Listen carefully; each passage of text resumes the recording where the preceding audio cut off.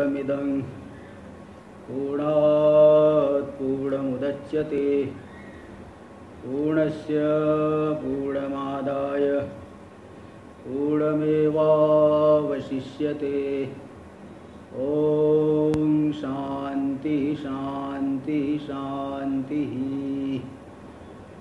शङ्करं शङ्कराचार्यं केशवं बादरायणम्।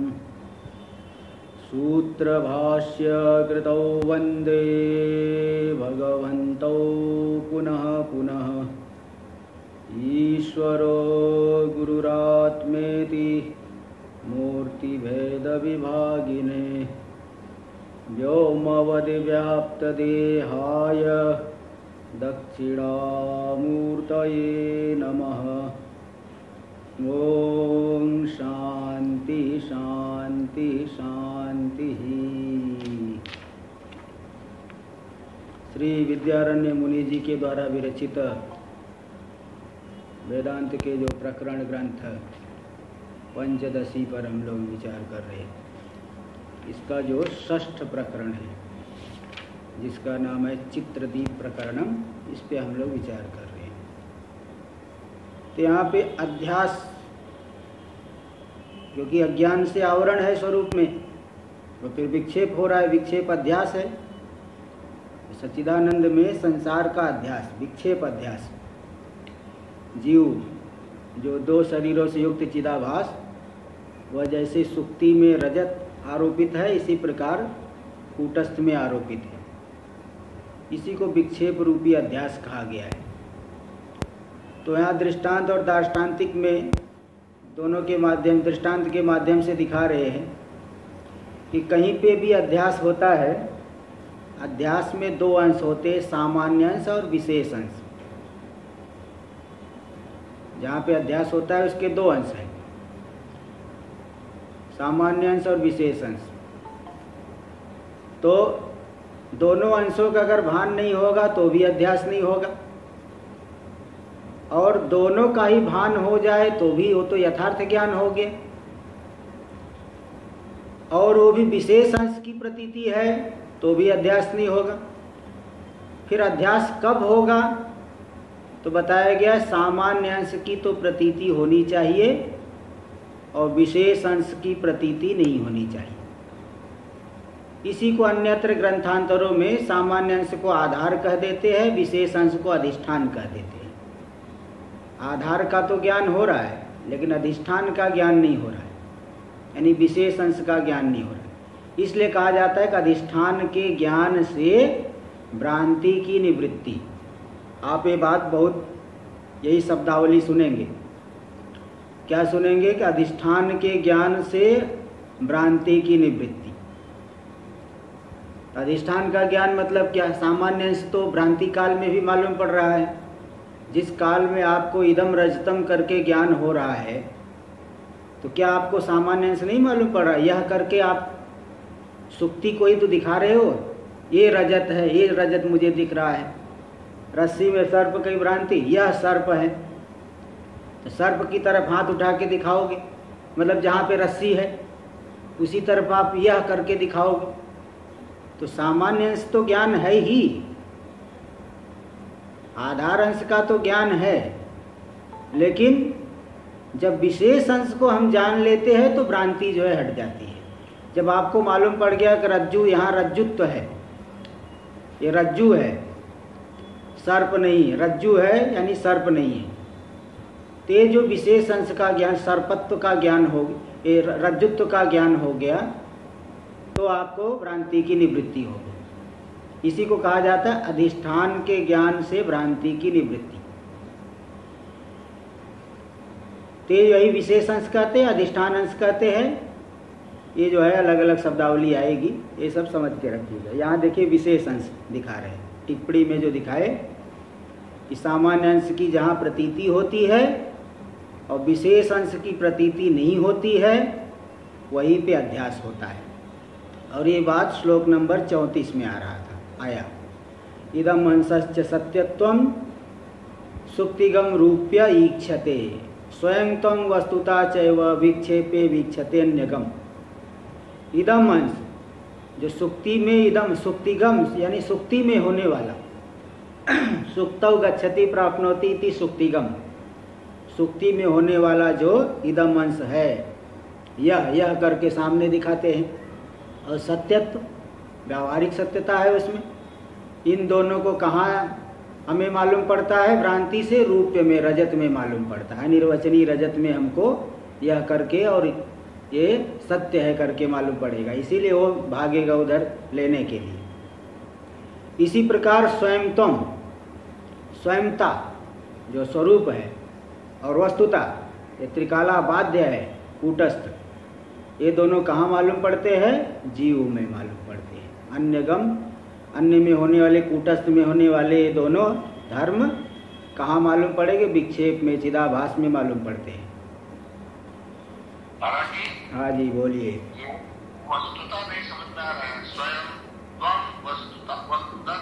वस्तुता मतलब वस्तुत्व पारमार्थिकत्व सत्यत्व। यही अच्छा यही जो ऊपर सत्यत्व बोले ना इसी के यहाँ वस्तुत्व कहती है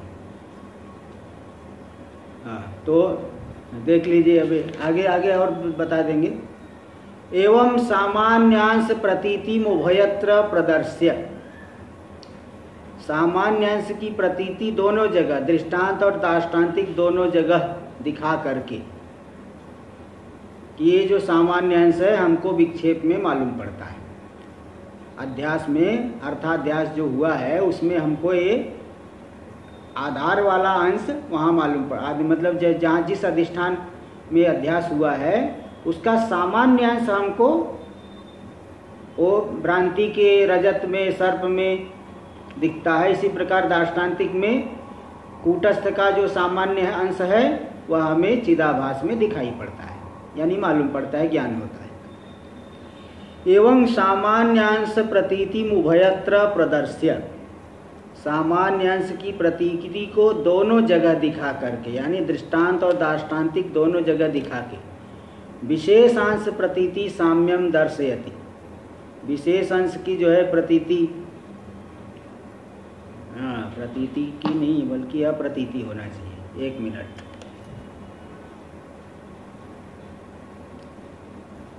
असंगानंदता देवं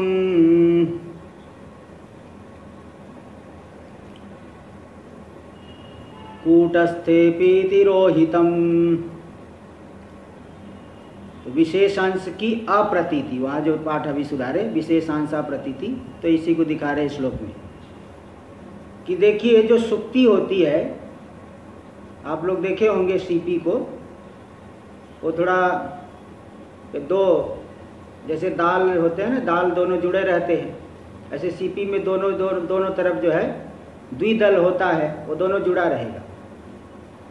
सीपी तो वो दोनों फट गया तो दो अलग अलग हो गए। तो जो ऐसे वाला हिस्सा होता है, अंदर वाला हिस्सा, वो एकदम चांदी जैसा दिखता है। और पीछे वाला जो ऐसे है, थोड़ा टेढ़ा है, इस तरह का, वो काला होता है, वो सीपी में। तो अगर इसलिए ऐसे सीधे पड़ा है तो चांदी की भ्रांति होगी। उल्टा पड़ा है तो आपको चांदी की भ्रांति नहीं होगी, क्योंकि वो काला काला दिखेगा। तो नील पृष्ठ पृष्ठ मतलब पीछे वाला भाग जो नील यानी काले रंग का है। और वो त्रिकोण ऐसे त्रिकोण है त्रिकोण रहती है। त्रिकोण ऐसे दोनों मिल करके दो भाग दोनों अलग हो गए तो अलग अलग हो, हो गया। तो जो सीपी का जो त्रिकोण अंश त्रिकोण रूप दिखाई पड़े और नहीं उसके पीछ पीछे वाला काले रंग दिखाई पड़ जाए तब तब तो भ्रांति होगी नहीं। भाई चांदी मतलब चांदी की जैसी चमक दमक वो अंदर वाले हिस्से में दिखता है। तो अगर पीछे वाला हिस्सा दिखे, जो कि त्रिकोण है और नील नील, काले रंग का है, तब तो भ्रांति नहीं होगी। तो भ्रांति कब हुई है? जब ये जो पीछे वाला हिस्सा जो नील रंग का है और त्रिकोण है, वो तिरोहित हो गया है, ढक गया है। तो जैसे भ्रांति काल में, सुक्ति में जो रजत की भ्रांति, उस काल में जो नील पृष्ठ, पीछे वाला जो नील काला रंग और त्रिकोणत्व तिकोना तिकोना जो होता है ये जैसे सुक्ति में तिरोहित है, ढक गया है, नहीं दिख रहा है। केवल वो सामने वाला मतलब अंदर वाला हिस्सा दिखता है, जो कि एकदम चमक रहा है। सूर्य की किरणें पड़ती है तो एकदम और ज़ोर से चमकता है। ये दृष्टांत में हुआ। इसी प्रकार असंगानंदता देवम कूटस्थे भी तिरोहितम। कूटस्थ है, असंग है, आनंद स्वरूप है। लेकिन अज्ञान अविद्या के द्वारा वो असंग आनंद रूपता असंग रूपता आनंद रूपता ये ढक गया है। इसलिए ढक करके फिर जो विक्षेप अध्यास हो गया, चिदाभास अध्यास हो गया संसारित तो उसमें भान हो रहा है, बुद्धि आदि के धर्म उसमें आरोपित होते हैं चिदाभास में। और चिदाभास का कूटस के साथ तादात में होने से आत्मा में ही शुद्ध आत्मा में ही मालूम पड़ते हैं। संसार। तो यहाँ पे देखिए विशेष अंश की प्रतीति दोनों जगह दृष्टांत और दाष्टान्तिक दोनों जगह नहीं हो रही। दृष्टांत में नील पृष्ठ त्रिकोणत्व ढक गया है और दाष्टान्तिक में असंग रूपता आनंद रूपता ये ढक गई है अधिष्ठान अंश यही ढक गया है विशेष अंश ढका हुआ है। ऐसे सर्प रज्जु में हाँ जी। असंगता और जो आनंद है किस चीज़ से अविद्या से? अविद्या। अज्ञान से? अविद्या से ढक गए। आवरण हो गया फिर विक्षेप हो जाएगा। दोनों शरीर का आरोप हो करके फिर उसमें चिदाभास पड़ा और बुद्धि आदि के धर्म फिर चिदाभास में दिखाई पड़ेंगे।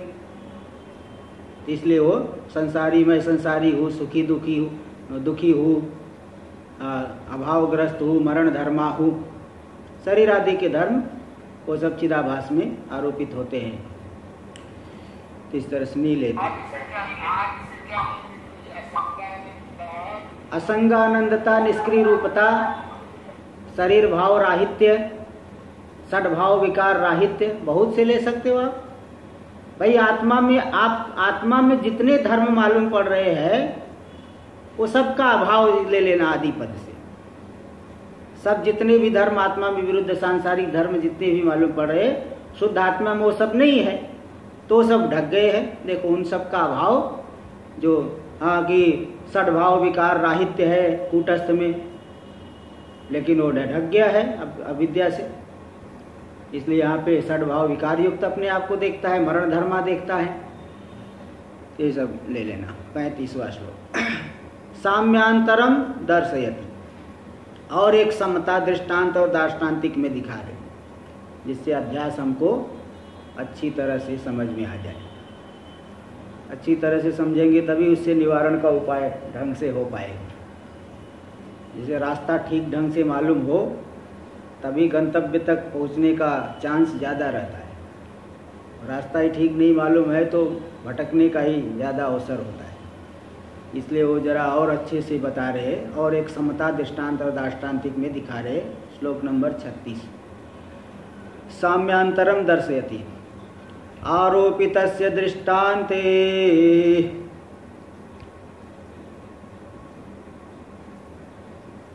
रूप्य नाम यथा तथा।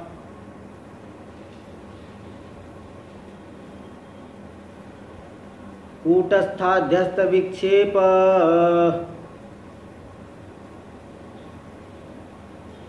नामहमिति निश्चय। आरोपित से दृष्टांत दृष्टांत जो हम सुक्ति में रजत की भ्रांति हुई है, उस दृष्टांत में है तो वहाँ पे सुक्ति। लेकिन वो अज्ञान से ढक गया है। इसलिए रजत हमको मालूम पड़ रहा है। तो दृष्टांत में जो आरोपित हुआ पदार्थ, उसका एक नाम है। क्या नाम है? रूप्य नाम। है रूप यानी रजत। रजत को ही संस्कृत में रूप्य भी कहते इसलिए जो है हिंदी भाषा में रुपया रुपया रुपया। पहले चांदी के रुपए होते थे। तो रुपये वो मतलब पैसे चांदी के, सिक्के जो होते थे, चांदी के बनते थे। तो उनको रुपये रुपये बोलते थे। रुपये मतलब चांदी का बना है तो रुपये बोल दिए फिर बाद में अभी कागज़ के हो गए तो भी रुपया रुपया। थोड़ा सा भ्रंश होकर के रुपये की जगह रूप, रुपया। इसलिए संस्कृत भाषा में रुपया का रूप लिख, लिखा जाएगा रुपये काणी। सौ रुपये है, इसको संस्कृत भाषा में लिखेंगे शतम रूप्य कहानी आप देख सकते हो नोट में लिखा रहेगा। शतम रूप्य कहानी पंचाशत रूप्य कहानी विंशति रुपये का विंशति रुपये कहानी दस रुपये कहानी इस पंच रुपये कहानी तो रुपये रुपया नहीं चांदी। उसी का रुपया रुपया हो गया है।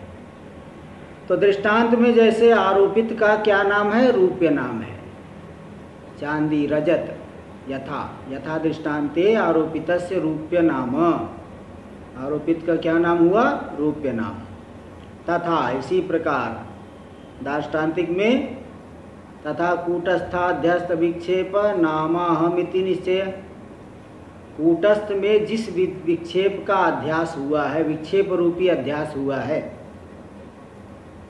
जो देहा देहद्वय से अवचिन्न चैतन्य है, देहद्वय का अधिष्ठान है, उसमें अज्ञान से जो आवरण आकर के फिर विक्षेप हुआ, उस विक्षेप का नाम क्या है? अहम, अहंकार। अहंकार हम हम करके इसीलिए शरीर आदि को बुलाएगा अहंकार अहंकार जो है शरीर के साथ तादात में है ना?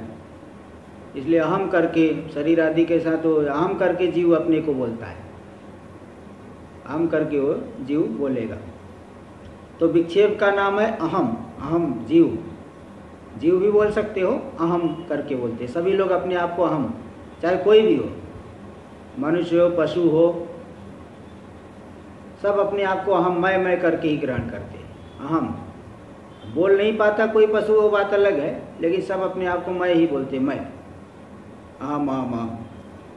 तो जो कूटस्थ में विक्षेप का, विक्षेप रूपी अध्यास हुआ, कूटस्थ में अध्यस्त जो विक्षेप है, उस विक्षेप से नाम, विक्षेप का क्या नाम है? अहम मैं मैं मैं मैं जीव।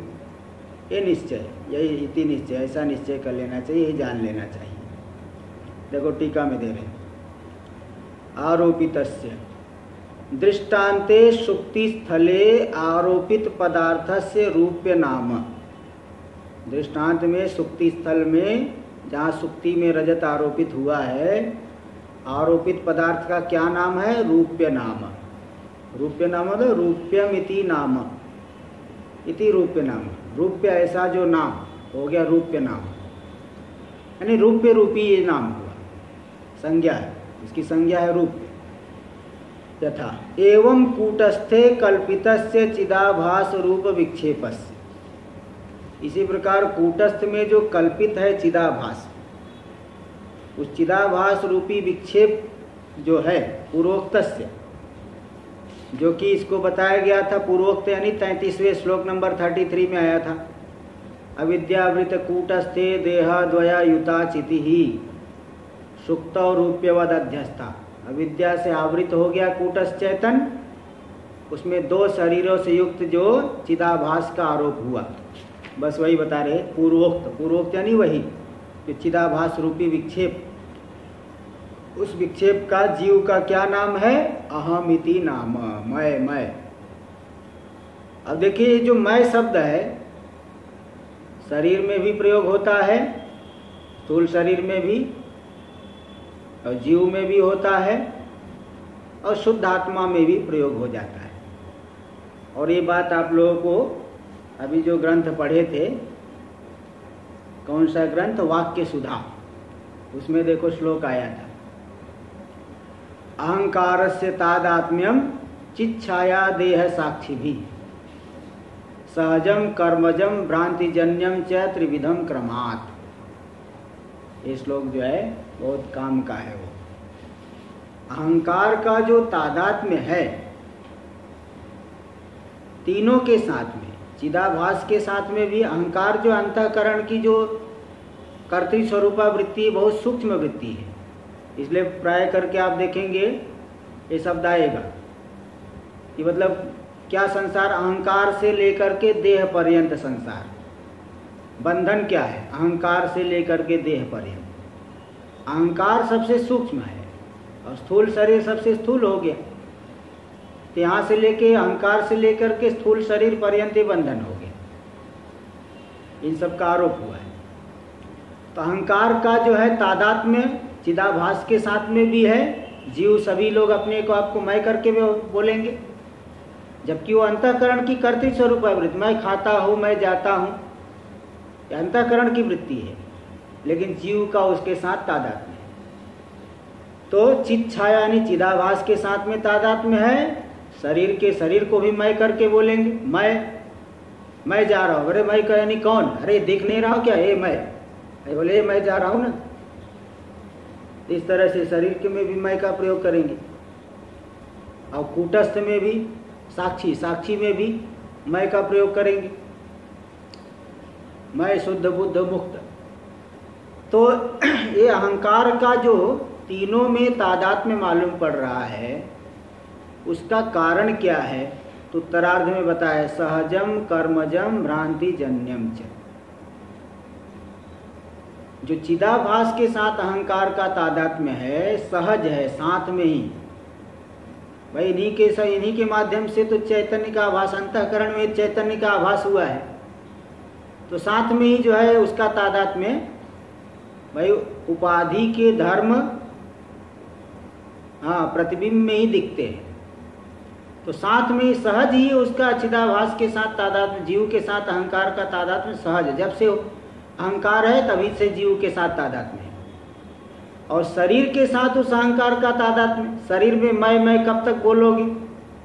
जब तक कि प्रारब्ध कर्म है। हम लोग अनादिकाल से न जाने कितने शरीर धारण कर चुके। कोई गणना ही नहीं। पिछले जन्म वाला शरीर, अब उसको हम मैं करके बोल सकते हैं क्या? अब तक तो बचेगा, बचा ही नहीं होगा तो भी अगर बचा भी हो तो पिछले जन्म वाला जो शरीर हमारा था, जरा ये विचार करिए, उसको मैं करके बोलेंगे क्या? हम किसी किसी का जैसे मिस्र में पिरामिड है, पिरामिड में अभी तक शरीर रखे हुए हैं। अब वो जो जीवात्मा था, न जाने कितने शरीर ग्रहण कर चुका है। तो उस शरीर को मैं करके बोलेगा क्या? हमारा ही शरीर अगर पिछले जन्म का कहीं हो,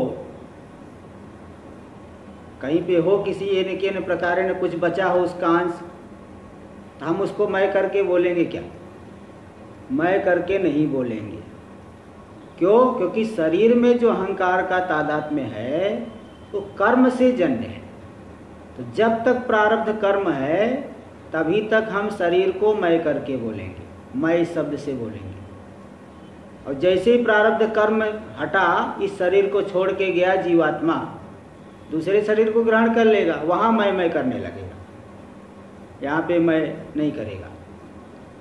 तो इसलिए शरीर के साथ तादाद में दिखाए है कि वो कर्मजम और साक्षी के साथ जो अहंकार का हम आत्मा साक्षी साक्षी के साथ अहंकार का जो तादाद में है, वो भ्रांति से जन्य है अहंकार ही तो अंतकरण की वृत्ति है, साक्षी के साथ उसका तादाद में भ्रांति से भ्रांति से उसमें उसको प्रयोग कर देते हैं।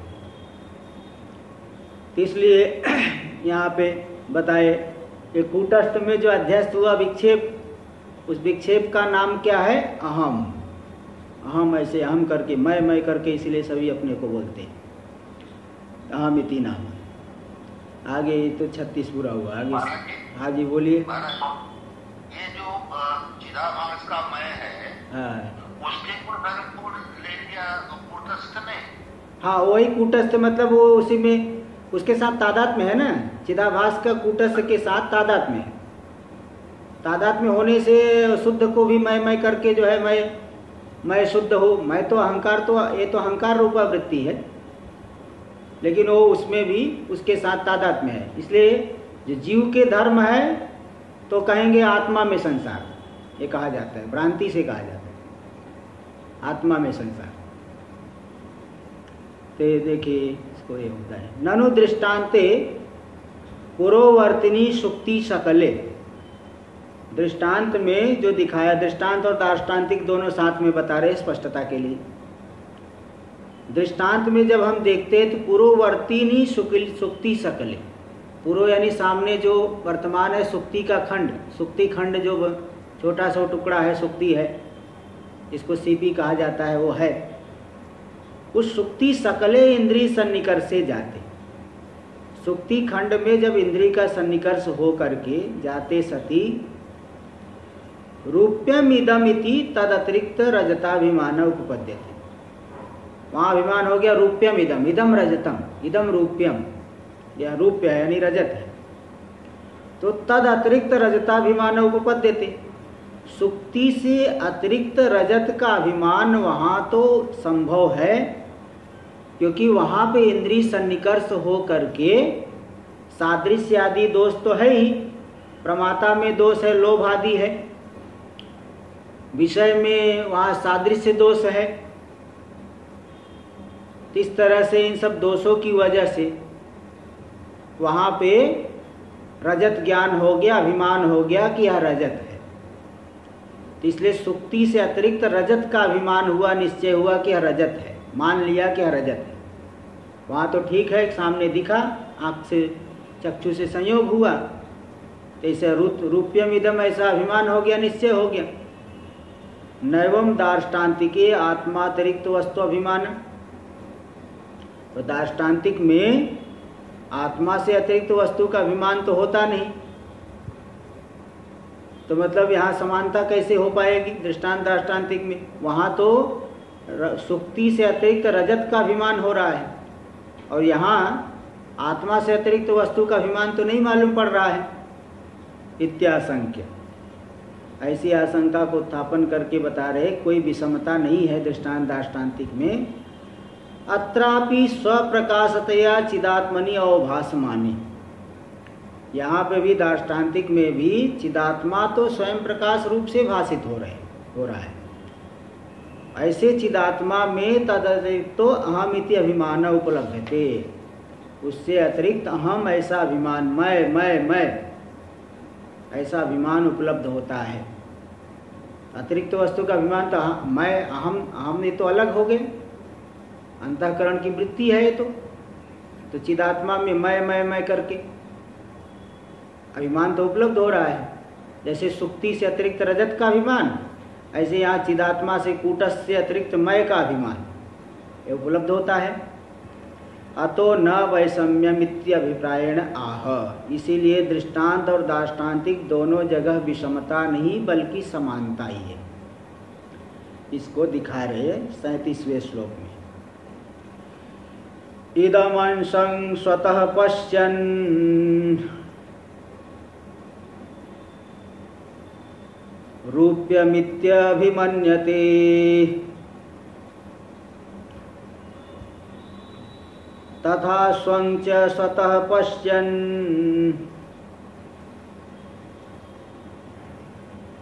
नहमित्यभिमन्यते इदम अंशं स्वतः पश्यन। इदम अंश को स्वतः देखता हुआ। स्वतः स्वरूपता इदम अंश को देख रहा है। अगर आप विचार करिए कि वहाँ जब रजत है ही नहीं तो देख किसको रहा है? जब वहाँ रजत नहीं है तो किसको देखेगा वो? सुक्ति को ही तो देख रहा है इदम अंश को ही तो देख रहा है। लेकिन मान क्या रहा है? यह रजत है। देखता किसी और को है, इंद्रिय सन्निकर्ष सुक्ति के साथ हो रही। लेकिन मानता है कि यह रजत है। भ्रांति हो गई दोष की वजह से। इदम अंशम स्वतः पश्यन रूप्यम इत्यभिमन्यते रूप्य है या रजत है, ऐसा अभिमान करता है, गलत निश्चय हो गया। अयथार्थ निश्चय हो गया। इसी प्रकार दाष्टान्तिक में ही स्वं स्वं च स्वतः पश्यन स्वयं को ही स्वरूपता देखता हुआ भी जीव जो अनुभव कर रहा है, अपने आप को स्वरूपता तो अपने को अनुभव कर रहा है, लेकिन मान रहा है विपरीत। क्या मान रहा है? अहमिति अभिमन्यते। अहम करके मान रहा है, जो कि कल्पित है। अहम मान रहा है, मैं जीव हूँ। देख रहा है अपने आप को मतलब जानने वाला तो शुद्ध आत्मा है। देख रहा है, जो भी प्रकाशन करने वाला हो तो शुद्ध आत्मा है। तो स्वयं को स्वतः तो जानता हुआ भी, मानता क्या है कि मैं जीव अहम। मैं कूटस्थ हूँ, व्यापक ऐसा नहीं जान करके मैं मैं जीव, मैं संसारी, मैं मरण धर्म, ऐसा इस तरह से मानता है। अहम अहम करके ग्रहण कर रहा है। इसलिए दोनों जगह दृष्टांत और दाष्टान्तिक में कोई विषमता नहीं है, जो मतलब जहाँ पे जिस अधिष्ठान में आरोपी, आरोप हो रहा है, उससे भिन्न करके अपने आप को जान ये दोनों जगह दृष्टांत और दाष्टान्तिक में समानता है। कोई गलत नहीं है विषमता नहीं है। ननु स्वयं अहम शब्द और एक अर्थ हाँ जी बोलिए। ये जो के जगह अहम पढ़ना पड़ेगा। नहीं नहीं नहीं नुट नुट हो जाता है ना। पंच संधि में नुट हो जाता है ना गमो हरस्वादची गमुट नित्यम। हाँ, तो कैसे पढ़ेंगे? पश्चन पढ़ते समय तो जैसा लिखा है वैसे ही पढ़ना है। बाद में अब हाँ? विच्छेद करेंगे तो? पश्चन वो अन्याय घट जाएगा। तो हाँ हाँ पश्चन हम पढ़ते समय पढ़ते समय तो ऐसे श्लोक पढ़ते समय पश्चन हम लेकिन जब अर्थ करना है तो अलग अलग करना पड़ेगा। पश्चन अहम। तब दो नकार नहीं तब एक ही नकार तो नहीं नहीं नुट हुआ है उस सूत्र से। हाँ जब अलग अलग कर देंगे हम पढ़ेंगे अलग अन्वय करने के लिए। हाँ। तो अलग करने में कर देंगे तो नुट कहाँ तो तो संयोग होने पर नुट रहेगा। हाँ। तो हाँ अलग से कर पढ़ेंगे अलग से जब अन्वय करेंगे तो अहम इति अभिमन्यते। और ऐसे श्लोक पर हाँ? नहीं, श्लोक पढ़ते समय आपको जैसा वैसे पढ़ना अन्वय करते समय तो अलग करना पड़ेगा ना। अन्वय करते समय, अर्थ करते समय तो अलग ही करना पड़ेगा। पढ़ते समय आपको जैसा लिखा है, वैसे पढ़ना है। अर्थ करते समय और अन्वय करते समय तो अलग अलग करना ही पड़ता है। जैसे गीता का पारायण कर रहे हो, पारायण करते समय आप जैसा लिखा वैसा पढ़ेंगे। लेकिन अर्थ करने के लिए जब अन्वय करना है तो जैसे उच्चारण अभी करा है उच्चारण कराते समय जैसे का तैसे अब पढ़ना है लेकिन अर्थ करते समय तो अलग अलग करना ही पड़ेगा। ऐसे ही नहीं जैसे लिखा है वैसे को वैसे फिर आए तो, तो समझ नहीं पाएँगे ना। जैसे अहम पश्चन अहम इति अभिमन्यते। अब देखो यहाँ चार पद है पश्चन अहम इति अभिमन्यते। लेकिन वहाँ उच्चारण करते समय पश्चन न पश स्वतथा स्वंच स्वतः पश्य नहमित्यभिमन्यते सीधा जैसे लिखा है वैसे पढ़ दी। हाँ कोई अलग अलग करेंगे तो अक्षर बढ़ अक्षर बढ़े बढ़ता है।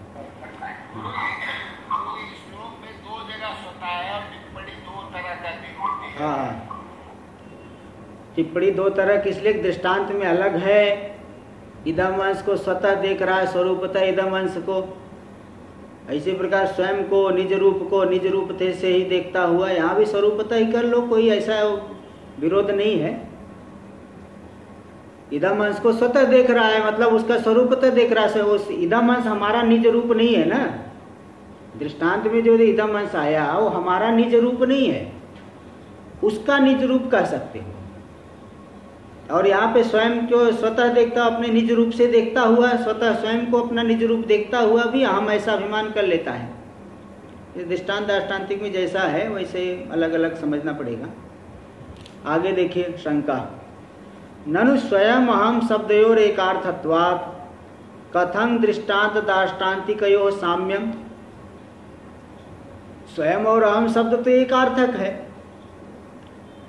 तो दृष्टांत में तो रजत मानता, रजत का निश्चय करता है, रजत सुक्ति से अलग है।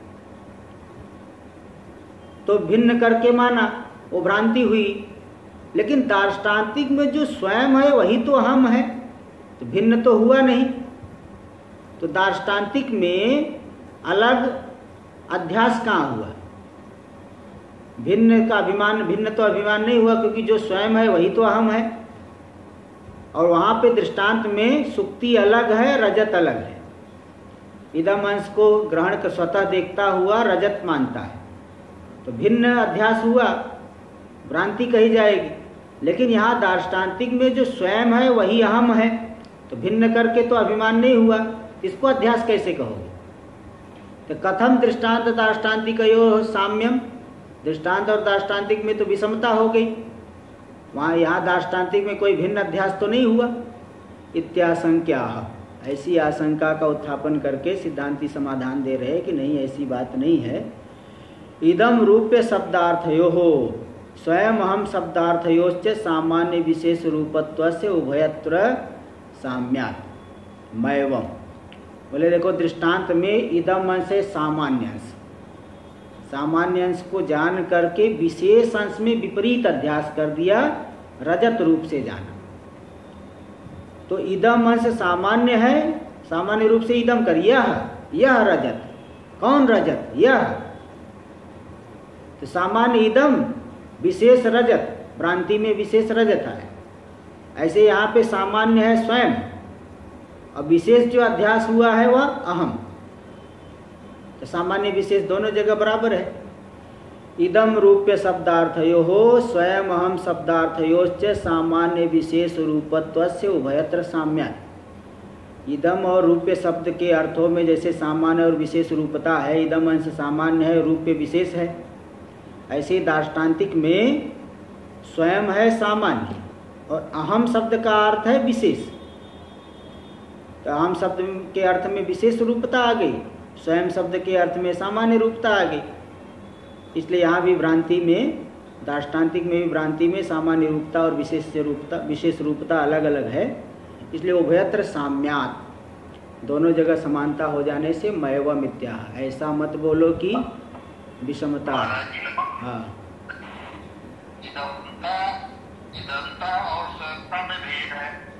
हाँ तो दृष्टांत और दाष्टान्तिक दृष्टांत और दाष्टान्तिक में भी तो भेद है। और उसी प्रकार स्वयंता और अहंता में भेद है।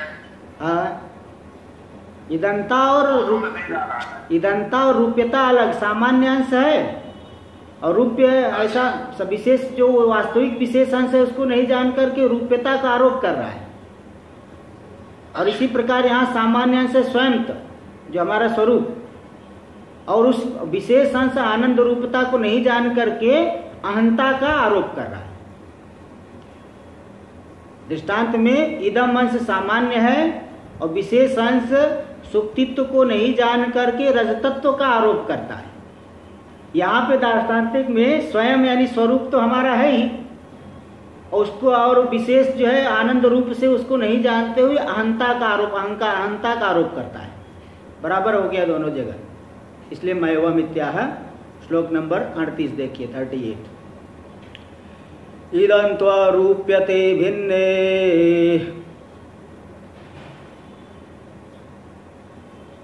स्वत्वाहन्ते तथेश्यताम्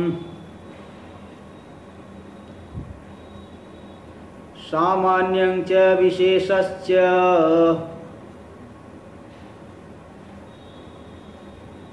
युभयत्रापि गम्यते।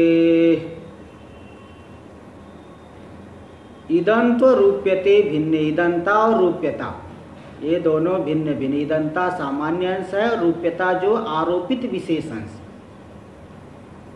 इसी प्रकार तथा, देखो अन्वय करते से, अर्थ करते समय वहाँ अलग कर लो। तथा स्वत्वाहंते इष्यता ये नहीं कि तथेश्यताम अन्वय करते समय तो अलग करना ही पड़ेगा।